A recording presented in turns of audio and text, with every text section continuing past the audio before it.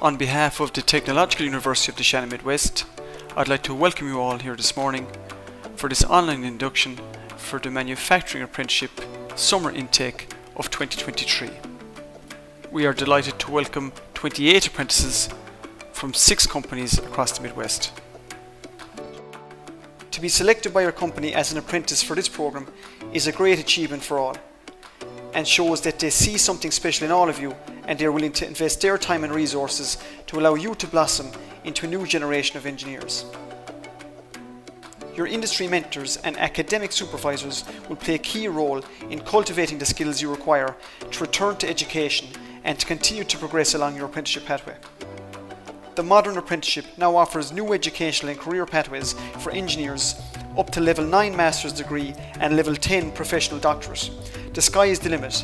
Today is the first step on that ladder. This short presentation today will outline the basic requirements of the apprentice over the next six weeks as part of their initial block.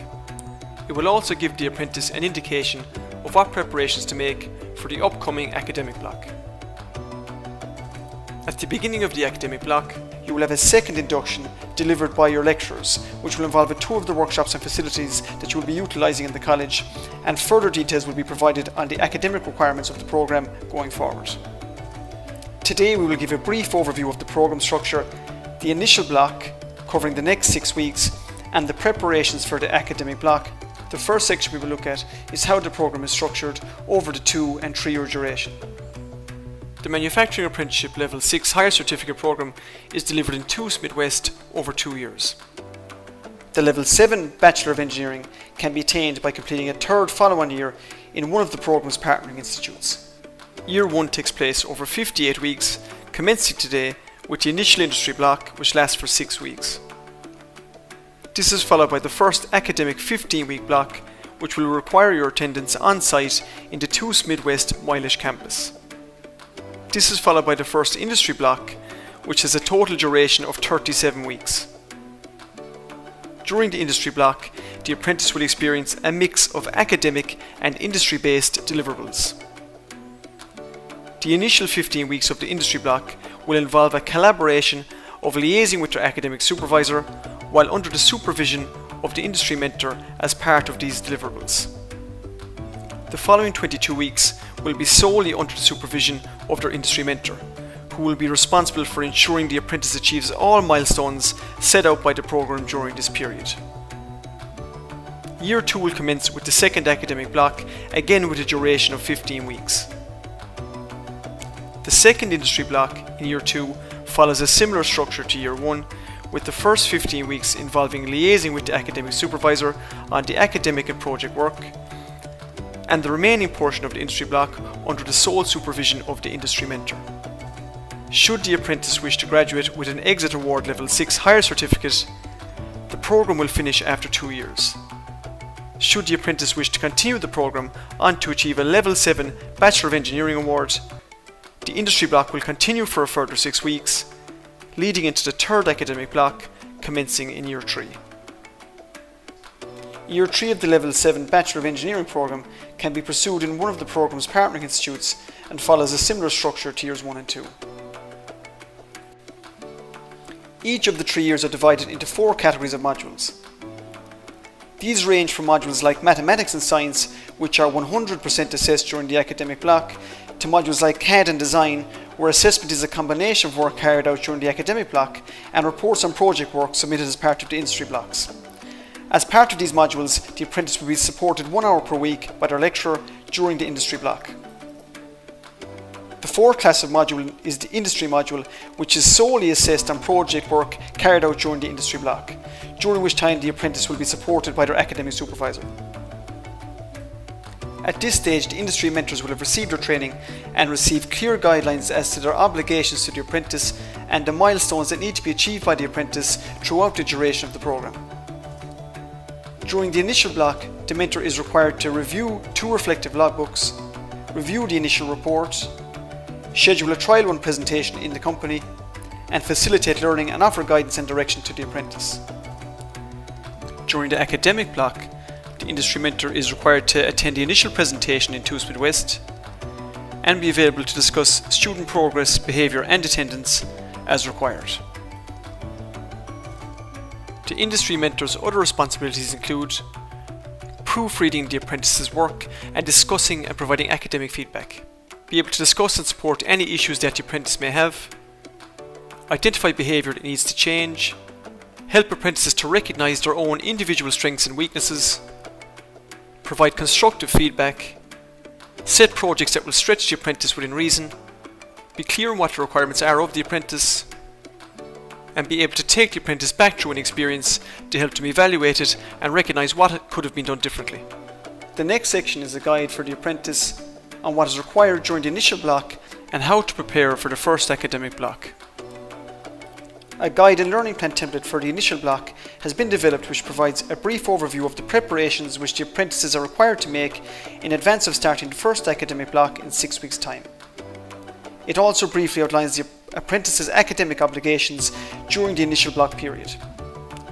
This document will be sent to all apprentices as part of an information pack following this induction.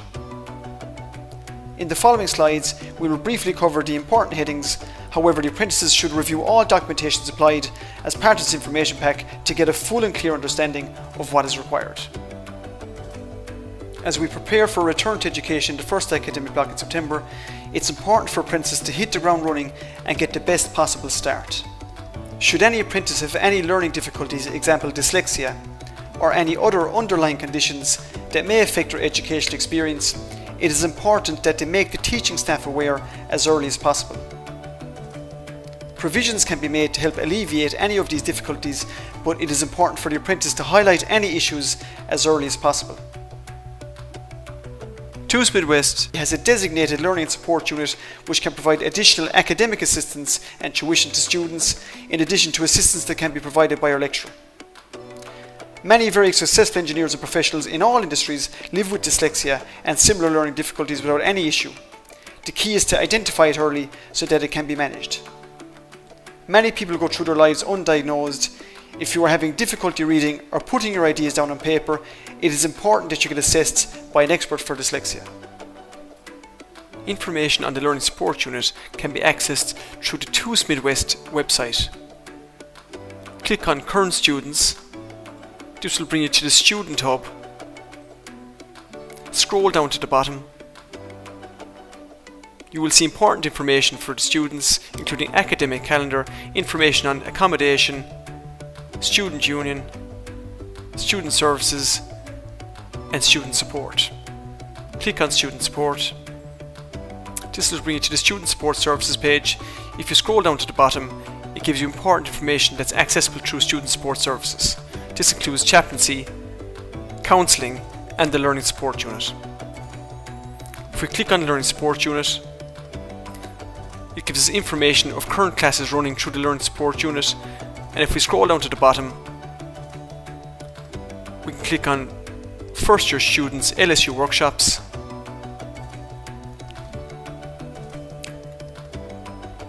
This provides information specifically for first years. There is an online request form where you can submit your details for your specific request.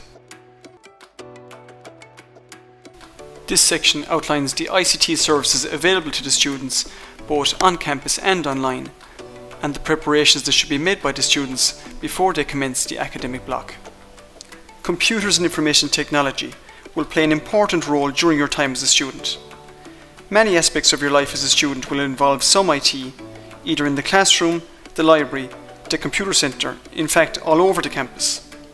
This section is a brief guide to help you get started with the different elements of IT that you will meet. The Computer Services Help Desk is located in the main computer centre on the Moylish Park campus. Any computer related problems that you encounter, such as issues with logons, printing, Wi-Fi connectivity or computer applications should be reported to the help desk. Calls can be logged via email or by phone or through the student portal. In addition to the computer labs which are used for teaching, there are hundreds of computers provided on the TUS campus for student use. These can be used at any time and are on a first come, first served basis. The main concentration of these is in the computer centre and library located on the ground and first floor of the main building. They are also available in the Students' Union building on the Hill. Once a student has been successfully registered, a user account is automatically created for them within 72 hours. This allows you to log into any of the student computers around the Institute, including the computer centre, library and any of the various computer labs.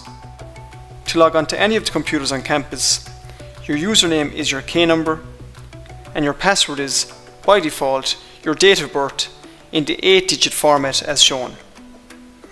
As part of your first industry block, it is important that the apprentice gets a handle on basic IT skills as quickly as possible. At a minimum, the apprentice should be confident navigating Microsoft Windows PC operating systems and have the ability to carry out basic operations such as creating, naming and storing new files and folders, etc. Both the academic and industry blocks will involve report writing, presentations and submissions of projects which will require the use of PC-based programs. The first industry block will give the apprentice the opportunity to hone these skills. Modules such as CAD will predominantly be PC based, so it is vital that apprentices get to grips with keyboard and mouse skills as soon as possible.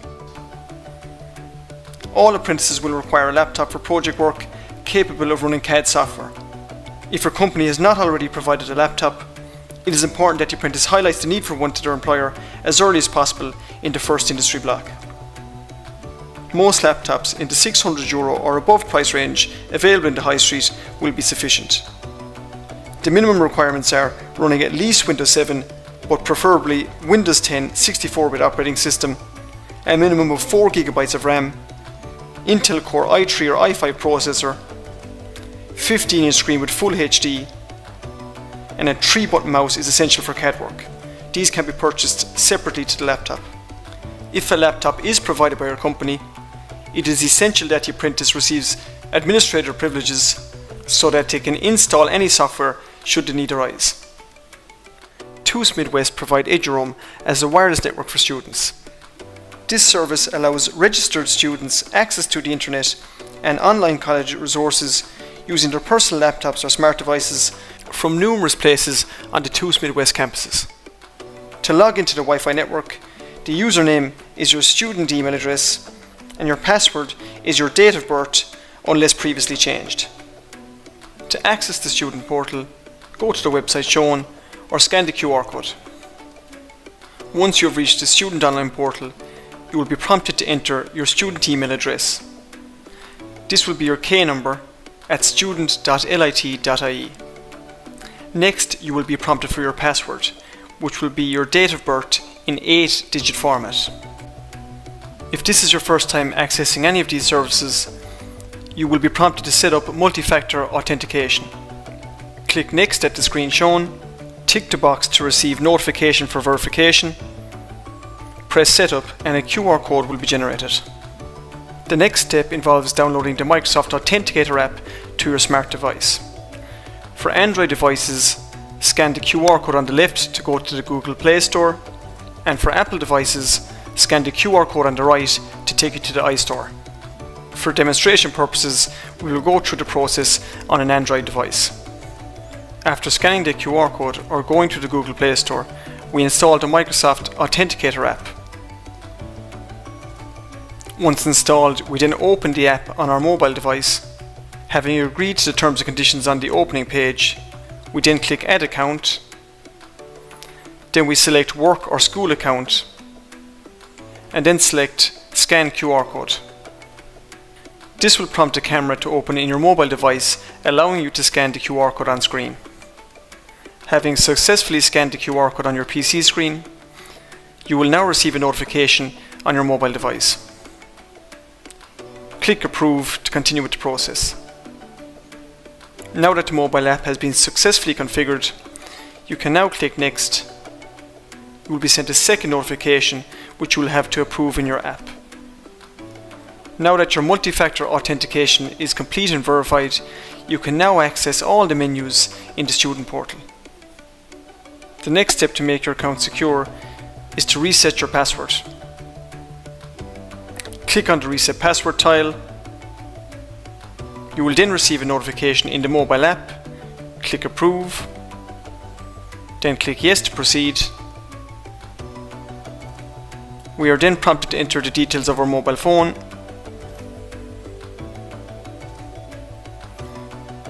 Microsoft will send you a text message with a unique code which is used to verify your mobile number. You are then prompted to enter your backup email address, which should not be your student or work email, it should be your personal email. Press email me and you will be sent a unique code, which you will then enter to verify your backup email address. Click finish, then go to my account, then select the password option you will be prompted to enter your current password, which should be your date of birth in 8-digit format. Then enter your new password. It is recommended that it takes the format of at least 8 characters, including at least one number and at least one special character. Confirm your new password and click submit. You will return to the My Account page. At the bottom there is an option for Office apps. Click Manage. This will allow you to install the Microsoft Office Suite to your personal computer. Alternatively, if you return to the My Account homepage, the Office 365 Suite provides all of the apps online including Outlook, Excel, Word, OneDrive, etc. Other helpful services available in the student portal include student timetables which can be viewed for the full academic year. Also available is Student Self-Service banner this allows students to register for a program of study, pay fees and retrieve examination results. The pin to access Student Self-Service banner will be sent separately to you by email by the admissions office. It is not the pin associated with your email. Access to your Moodle account is also available from the student portal. It is also available from moodle.midwest.tus.ie. Once logged into your Moodle account, your list of already enrolled courses will be displayed on your Moodle dashboard under the course overview. If you find you are not auto-enrolled, please contact your lecturer or the help desk. The current version of the CAD software that apprentices will be using in the TUS Midwest computer labs and workshops is SolidWorks 2021 Service Pack 4. A student version of SolidWorks is available for purchase at a discounted price from the link shown please follow the link or scan the QR code. A student version of Autodesk Inventor is also available for free download on confirmation of your student credentials. Student numbers and email addresses will be sent out by email to all apprentices as part of an information pack following this presentation. SolidWorks may be a new experience for many apprentices. To assist the apprentices, it is advised to look at online tutorials and resources, for SolidWorks tutorial videos, please follow the link on screen or scan the QR code. This section covers the mathematics revision and preparation that the apprentice should complete before they commence the academic block. The mathematics syllabus module in year 1 consists of 9 sections covering arithmetic, algebra, matrices, complex numbers, trigonometry, vectors, differentiation and integration. In preparation for the mathematics module, the apprentice should look to purchase the recommended textbook. Basic Engineering Maths by John Bird, 2017 edition. It is advised during the initial block to review chapters 1 through 6 and chapter 9. This covers the fundamentals of arithmetic and basic algebra. This will give the apprentice a good foundation going into the first week of the academic block. The contents of the recommended chapters for revision are shown here. This includes revision tests 1 to 4, which should be completed during the first initial block. There are many free online helpful maths tutorials and resource websites including YouTube. One such website is khanacademy.org. Please follow the link or scan the QR code. This link will bring you to the section covering arithmetic, which covers chapters 1 to 3. This second link will bring you to the section covering pre-algebra, which covers chapters 5 and 6 and this final link will bring you to the section covering basic algebra which covers chapter 9. If you follow the links or scan the QR codes given, it will bring you to one of the sections that you need to revise. If we scroll down through the page, you will see that there are numerous sections covering different topics. If we click on a topic, each topic contains numerous examples and questions. Each question comes with hints and instructional videos. so as not to waste time answering questions that you already know, the best strategy will be to scroll to the bottom of each section and answer the final quiz and see how you get on. Should you finish the quiz successfully, then you can move on to the next section, avoiding time wasted scrolling through questions that you already know. The recommended textbook for the Engineering and Electrical Science modules is Science for Engineering by John Bird, 2015 edition. This book also covers the mathematics theory for first year, and new copies are available on the high street for under 30 euros. Should you require them, there are free online science resource websites such as openstax.org. For an example, please follow the link or scan the QR code on screen. The recommended calculator for this program is the Casio FX85 GT. If you have not yet purchased one, there are several similar models available on the high street that offer identical functionality. The FX83 GT only differs from the FX85 GT in that it does not have the solar power option. The GT Plus version of both the FX83 and FX85 have been superseded by the GTX version. All four calculators offer the same functionality and operate almost identically. For apprentices who are not familiar with the operations of a scientific calculator, please ask your industry mentor for guidance or look at online tutorials for help. The initial block allows time for preparation for the first academic block, but it also gives the apprentice a taste of what is to come in the following industry blocks. This allows the apprentice to develop a good routine the apprentice should aim to have weekly meetings with their industry mentor. As part of the initial block, the apprentice is expected to complete two reflective logbooks. These should be submitted to your mentor for review and feedback. A guideline document with detailed templates of reflective logbooks will be provided as part of the information pack sent out to you by email after this presentation. As part of the initial block, the apprentice is required to submit a report which accounts for 25% of the academic and professional skills module. This report is due for submission during the first academic block. The report consists of two parts, the first being an oral presentation which the apprentice would be required to develop and deliver a 10 minute Microsoft PowerPoint presentation to their academic supervisor and the academic and professional skills lecturer fellow apprentices and their industry mentor may also be present. The second part consists of a written report using Microsoft Word, presenting the same material as the presentation with the same sections and headings, but going into more detail. Detailed templates for the initial report are provided and the same structure marking scheme applies for all students. A sample of the structure and marking scheme is shown here. The template for the written report outlines how many pages per chapter, what the headings are for each chapter and subsection. It also details what percentage marks are available for each component. The template for the oral presentation again follows similar headings, however along with marks for the content, marks are also available for the layout and quality of the PowerPoint presentation and the delivery. It also outlines how many slides are per section. The initial report, Word documents and PowerPoint presentation follow the same headings which include information on the apprentice's background, the company they work for, their role in the company, their initial block training and induction into their company, the role of science and mathematics in their company, how will they approach and manage their learning in the academic block, and what is their motivation and goal. Here is a brief summary of what the apprentice should hope to achieve in the six week initial block.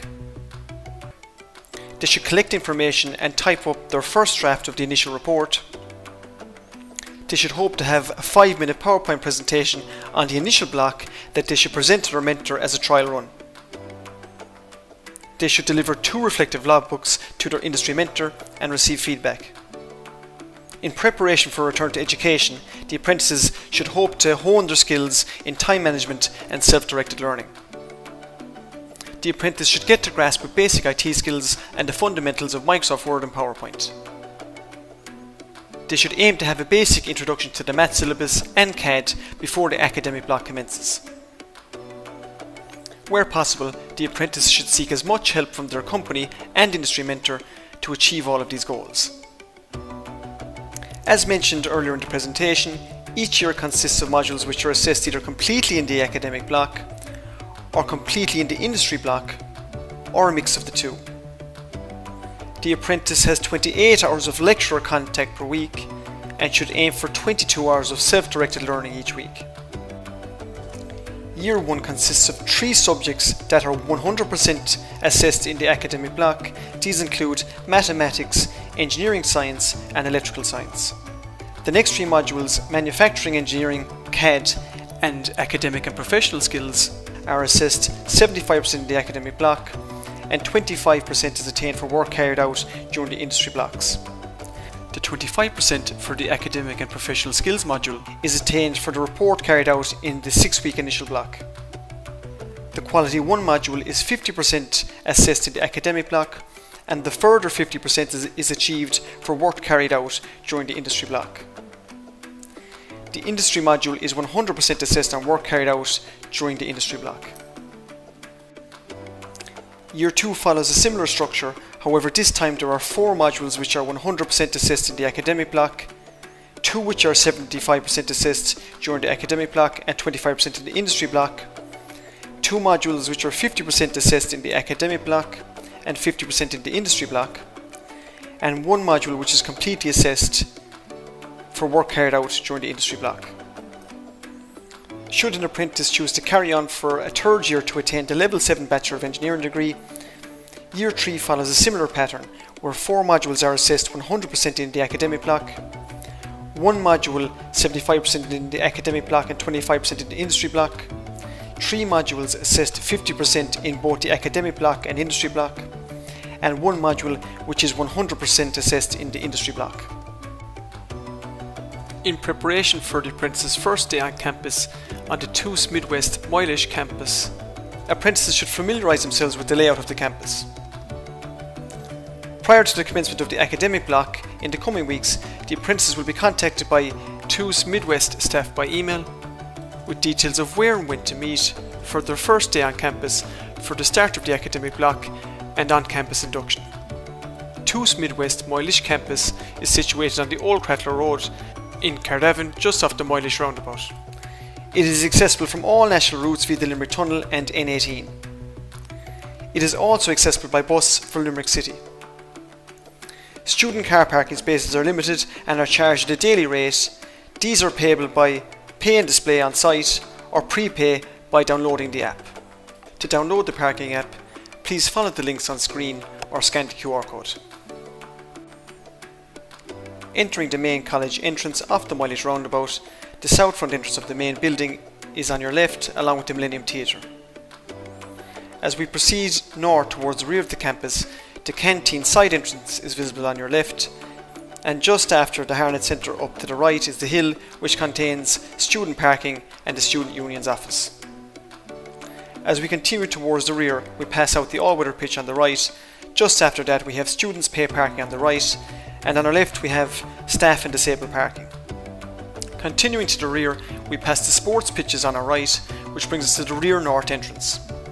For students who wish to drive to the campus, the north entrance is the most easily accessible from the student car parks and is usually the first congregation point for new students on the first day on campus. To the right of the north entrance, you can see the prefab classrooms and the bicycle shed should any students wish to cycle to the campus. As we continue to the rear of the college, to the east entrance, we have further student car pay parking on our right and staff and disabled parking on our left. Continuing on, we have the TUS Midwest the Sports Hub and Gym on our right, which leads us back out through the east entrance. As we continue back towards the Moylish roundabout, the front south entrance of the main building is again visible on our left. If we enter through the front south entrance of the main building, we find ourselves facing down the street towards the rear north entrance. As we head down the street towards the north entrance, we have the main reception on our left.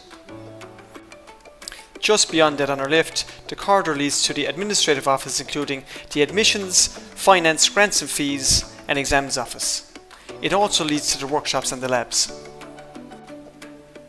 Continuing on on our right, we have a stairs that leads to the first floor and upstairs library. If we continue down the steps, on our right hand side, we have the entrance to the ground floor library, which houses the computer services and IT help desk and printing services. This is also the entrance to the main computer center and student computer labs. As we continue down the main street, we have the ATM on our left hand side. Just beyond the ATM on our left, we have another corridor which also leads to the workshops and labs. Opposite the corridor on our right hand side, we have the entrance to the Aula Maxima.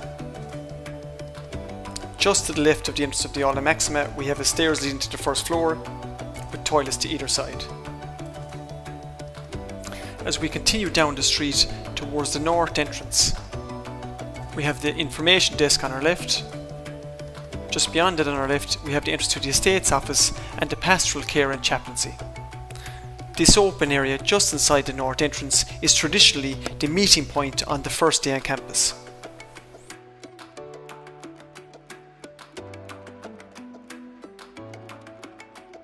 Taking a sharp right and continuing up the steps, we have a stairs to the first floor on our right, and the toilets on our left, and the green rooms canteen straight ahead. The main canteen serves hot food Monday to Friday from 8.30 to 4.30 with the coffee and deli dock remaining open until 8pm. I will now answer any additional questions that the apprentices may have. If there are any further queries during the initial block, please contact me at sean.conway at tus.ie.